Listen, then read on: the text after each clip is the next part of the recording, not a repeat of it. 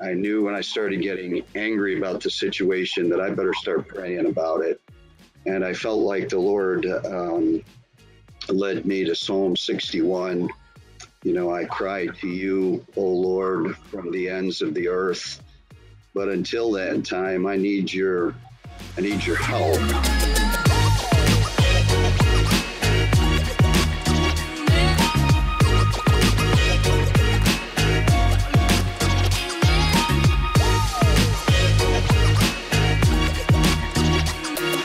Welcome everyone to the uh, One Mission, One Movement podcast. Uh, we've got a very special uh, episode today. Special guest today uh, is Chaplain David Reynolds, and uh, this is a very, very busy man.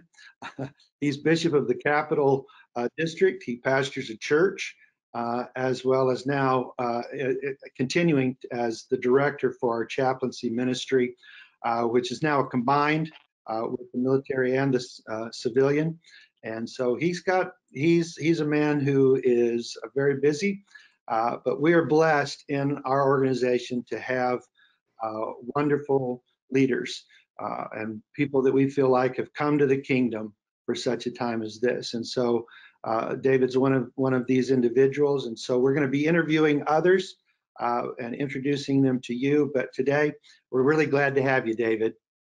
Well, thank, thanks, Steve. It's a, uh, it's an honor and a privilege just to serve alongside you and and the PCG colleagues that the Lord's put in place. Well, I wanted to ask you today, just as we kind of get started, um, uh, when did you enter the, the chaplaincy? Did you kind of go kind of immediately into that, or?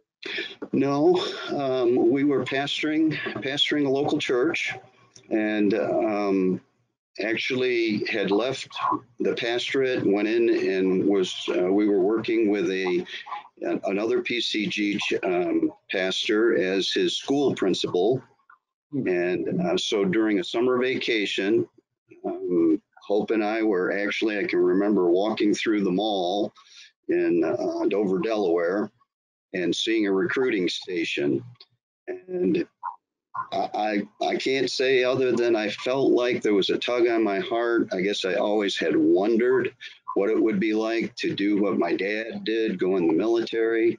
So we went in, we began to ask questions, and uh, that summer, uh, I think it was 1984, um, we signed up to go in as an Air Force Reserve enlisted person. Uh, so my very first assignment after going to, to boot camp was right there in Dover, Delaware, um, as an air cargo specialist. And once I got into the, the Air Force and got into um, the routine, um, it just continued to pull on my heart that I would then proceed on to become a chaplain. So uh, within a year or two after enlisting, I transferred over to the um, chaplain candidate program. Spent um, three years in the chaplain candidate program, going to seminary, um, and then being reappointed um, a few years after that as a, a reserve chaplain to start. And um, we've spent 30, 33 years um, in all three of the different components um, the reserves, the National Guard as an Air National Guard chaplain, and nine years as an active duty chaplain. So um, it's been it's been quite a journey. The the military will take you places that you never thought about going and teach you things that you never knew. Well, within the chaplaincy, have you been actively deployed into an area, for instance, like Afghanistan or a place where, uh, uh, you know, there was conflict or what's your, what's your personal experience been like that? So my closest, um, closest area of conflict was on the back end. Um, I have never been in a setting where there have been bullets flying. Um, but um, probably one of the highlights of a deployment that I've been on uh, was to um, Ramstein Air Force Base. And it, when I was deployed to Ramstein, my job at that time was to meet incoming and outgoing planes uh, that were carrying the wounded. And uh, they were coming from downrange from Balad and from Afghanistan and different places. And it was um, very, very eye opening. Um, and it was a very, very much an honor.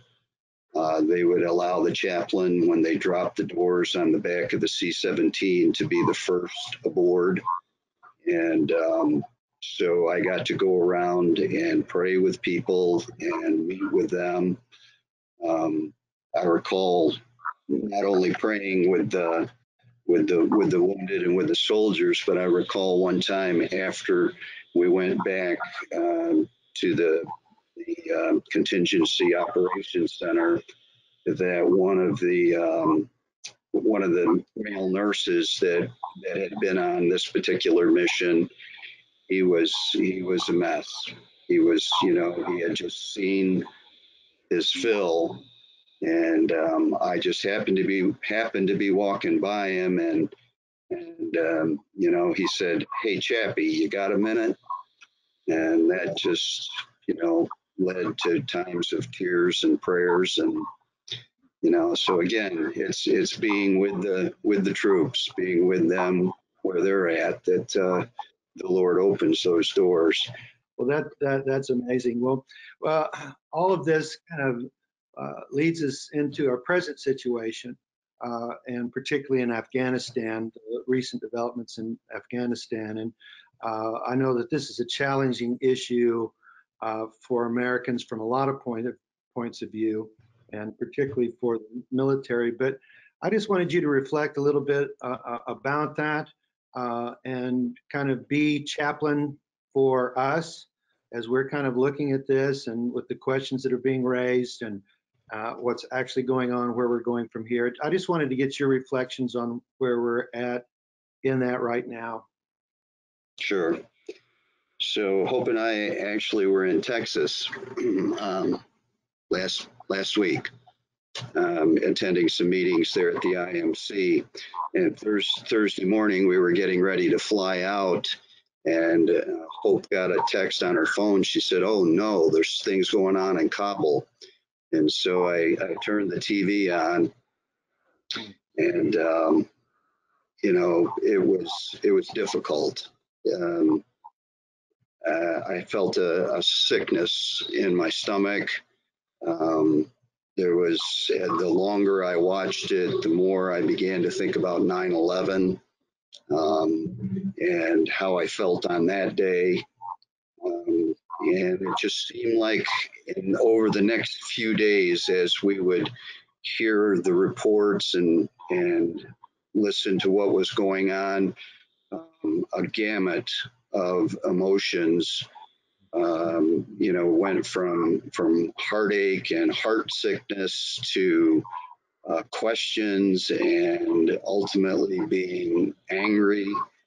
Um, and when i started getting angry and people people were asking me questions uh, almost immediately. I was getting texts and uh, i I knew when I started getting angry about the situation that I better start praying about it.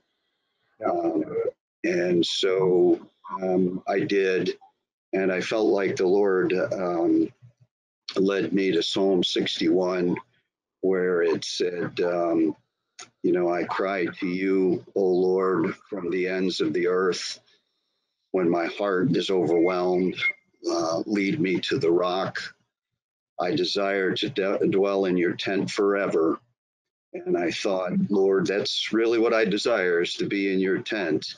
But until that time, I need your I need your help so that I can so I can speak to others. And um, and he's been faithful. I have had contact with two of our PCG chaplains that are literally in the thick of it in the Middle East um, both of them are are are physically well, uh, but I can tell you the same kind of emotions that I just described. I'm being transparent with you. The same kind of emotions that I've uh, described, um, I could hear it in their voices. Um, military people are are are trained from the beginning, uh, from the time that they go to uh, to basic training. They're they're trained that during the fog and friction of war, you need to keep focused. You you can't be thinking about other things. You need to keep focused. And and so I know our chaplains uh, that I talk to, they're focused and they're they're accomplishing the mission that the military has set before them, along with all of the other uh, troops that are doing the mission that the military asks them to do.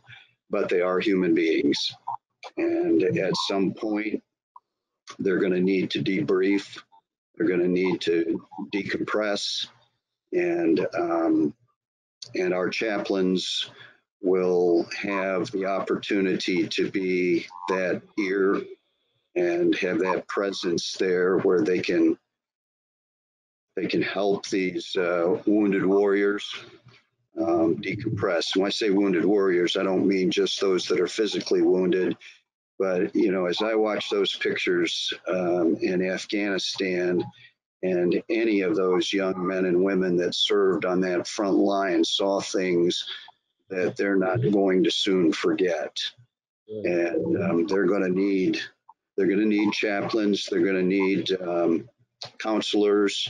Uh, they're going to need family. Um, they're going to need the VA.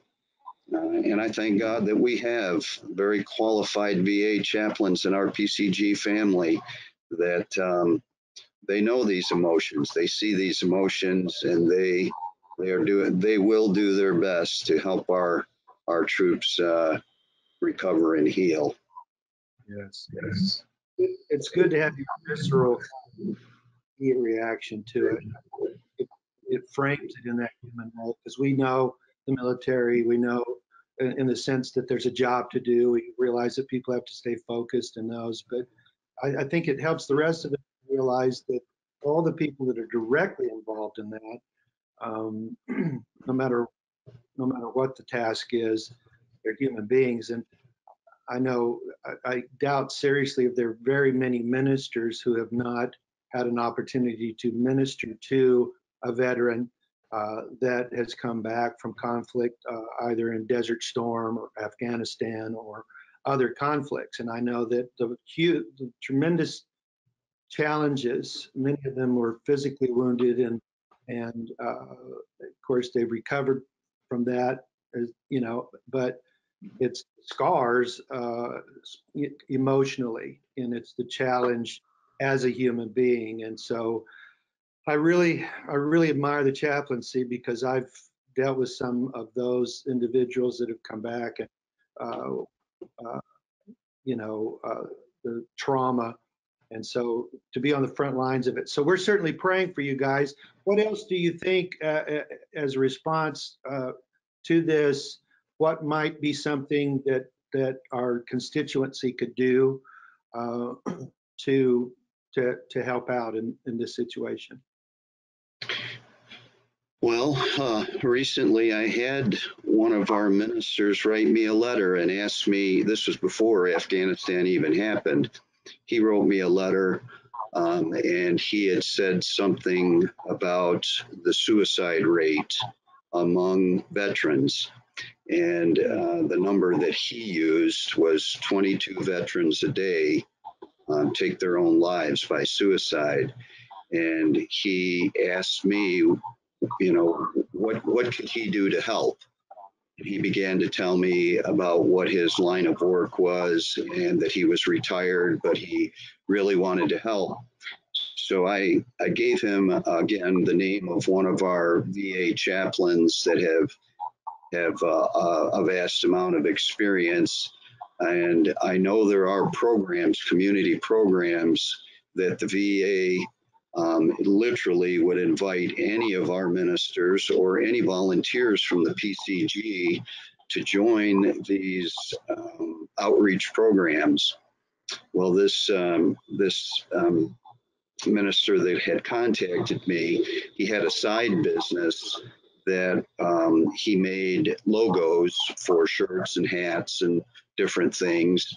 And he just sent to me in the mail a hat that says 22 on it and Jesus underneath it. And he said, I'm going to start making these hats and wearing the hats and giving the hats out in hopes that people will ask me, well, what's 22 Jesus mean? And I will be able to tell them about 22 veterans every day are taking their own life. And so, there, you know, um, I was just talking with another minister the other day that um, I said, you know, Jesus talked about giving cups of cold water in his name, that that is ministry. It, it doesn't have to be behind a pulpit. It doesn't have to be in a church. It can be wherever that you serve a certain kind of population that Jesus will be present and um, and miracles and things that we don't even dream about um, can happen. So I, I, think the VA is a huge um, opportunity for people that have a heart for military members or for veterans to connect up with. And then um, many of our uh, larger bases, such as Fort Bragg and um, Fort Jackson, and some of the other large bases, Fort Hood, um, that, that have a huge military population, those pastors that are in proximity to those large bases, um, they can connect up too. They can connect up with the local chap, chapel and and just ask the question, what can our congregation do to serve? What what can we do? Can can we give out cold cups of water? Um, so there's there's definitely opportunities besides prayer. Prayer, of course, is fundamental, but but uh, missions of mercy and service that um, that someone with a heart um, can find an outlet. Excellent. But I think it's been really good because it really reminds us uh, of the forgotten casualties of war. Uh, you know that those that are killed in action or wounded in action, but certainly uh, those that come back and uh, suicides are tremendously tragic. My experience has been that anybody who's been in combat or been exposed to that frontline action is a casualty to some extent. There's just a lot that uh, they see and that they experience. And uh, I think as a nation, I certainly, and for us, we're we're blessed in the Pentecostal Church of God to have a strong chaplaincy ministry. And with your leadership, it continues to grow stronger. And so I don't want us to take that for granted. Uh, that's been a blessing of the Lord. That's been the dedication of a lot of people over the years. Uh, and it's just getting stronger. And it proves to be, again, in the face of what we're seeing now, one of the most crucial pieces of ministry uh, that our that our organization is involved in, and uh, one mission. And so we, it's one mission, no matter no matter where you're serving, no matter in what capacity. Uh, everything is interconnected. We all have an opportunity to make a difference. And with Bishop's leadership, that's what we, you know, we're dedicating again to. Let's let's make the biggest impact we can for eternity. So, so it's good. Well, this is this has been great today, and uh, I, I I I always enjoy visiting with you as a friend. So that that's good. And I thought, well, you know what, we should take this show on the road. we talked times. And so I thought it would be really good. So, well, I'm going to ask you today, as we're kind of wrapping this up, to uh, to lead us in prayer, uh, and uh, as a response to certainly uh, the immediate crisis that we see in Afghanistan, and then uh, just allow the Holy Spirit to lead you today, but just to kind of pray and uh, kind of bring this to to the Lord today. Amen. Okay, sure. Lord, we humble our hearts before you. We are so thankful that uh, you have saved us, Lord, cleansed us, Lord, and called us, Lord. We are we are grateful. We thank you for the leadership of the PCG and the mission that is flowing out of the leadership's heart, Lord. We we come alongside gratefully and uh, do that that that uh, you are directing. Lord, this has uh, been a very difficult, not just a difficult week, but it's been a, a continually difficult year, not only for um, our military members, but uh, for our nation. And we need we need your presence, O oh Lord. Uh, I I recall um, in our General Assembly uh, the words that were spoken when when you show up, Lord. Uh, things become holy. And so I pray, oh Jesus, that you would show up in the hearts of your people, sanctify us for service, Lord. Show up in the, um, the things that our nation is facing. Lord, we we need you um, more than anything else. We need you to to show up in our our uh, legislative body and our executive body, Lord. We need you to show up, Lord, in the leadership of our land. Um, I'm asking, Father, that you would continually have patience with us, forgive us where we err, O Lord. Strengthen us, Holy Spirit. Give us wisdom and insight and uh, show us the paths that you desire us to walk upon. I do pray a special prayer, Lord, for our chaplains and those that they will be serving, Lord. Lord, I ask you to show up in our chaplains' lives, Lord. Strengthen them, Lord. Help them, Lord, uh, to be not only a caregiver, but one who is a catalyst of healing, O Lord Jesus. And I do ask too, Lord, that those caregivers would find their place of care and respite, Lord, that they might be renewed and might be strengthened. I thank you for this time that Steve and I have been able to share together today and and would ask that uh, you would use this time as a time of blessing and encouragement. It's in your name we pray. Amen. Amen. Amen want to thank everyone for tuning in. It's been a really uh, special time for us, and uh, we want to bring more and more unique content uh, to the podcast. So we appreciate your support. Just encourage everyone to like uh, today's episode, uh, share it with as many people as you can. Please subscribe. Uh, and we're we're working to bring unique content like this, which is right on the cutting edge of what's what's going on in our movement but more importantly, the mission of our church, and uh, for us to come into unity increasingly as we con- connect with those that are involved in all the various aspects of ministry. David, I want to thank you again for being with us and taking the time today. It's been a real pleasure, my friend, and uh, every time I get to visit with you is great. So I've really enjoyed it today, and I appreciate you spending time with us. Likewise, likewise, Steve. I appreciate your spirit and what the Lord's doing in your heart and through you. And we're praying for you guys and for the chaplaincy, for their families, and uh, we will get more information out as to uh, how people can get involved and uh, try to help people really connect and make impact. good to talk to you. Tell Hope we said hey, and uh, we'll uh, we'll talk to you soon.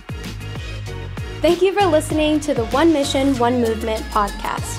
This podcast is sponsored by the Pentecostal Church of God, which is a body of believers in nearly 70 nations around the world.